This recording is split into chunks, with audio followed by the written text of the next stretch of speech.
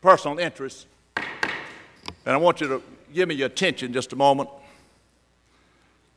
I was out of the chamber a minute ago when y'all voted on that matter dealing with alcohol. And as I came up the steps, someone asked me if I had walked on that vote. And all of you that have known me in my near 40 years of service here have known I have never walked, I have never sidestepped an issue, have never tried to walk both sides of the street. I come down squarely on one side or the other of every issue. And I was asked out there, what was my stand on liquor? And I want y'all to know that when you say liquor, if you mean the devil's brew, the poisonous scourge, the bloody monster that defies innocence, dethrones reason, destroys the home, creates misery and poverty, yes, literally takes the bread from the mouths of children, I'm against it.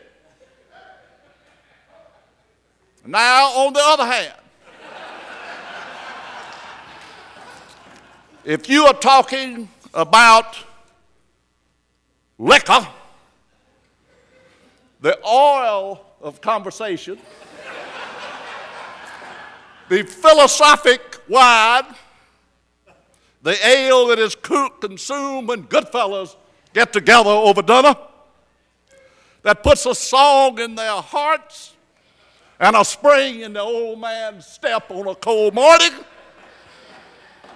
If you mean the drink that enables a man to magnify his joy and headaches and sorrows, if you mean the drink, the sale of which pours millions into our treasury, to help the little crippled children, to help our blind, the deaf, and the dumb, to build highways and hospitals, then certainly I'm for it. Now, I have given you my stand, and I clearly come down on that issue in that fashion, and I want all of you to know that. Now that was given down in Mississippi some, some many years ago, 1952. Senator Cherokee, what purpose you at? I do not request that the senator from Clarendon's remarks be placed in. All right.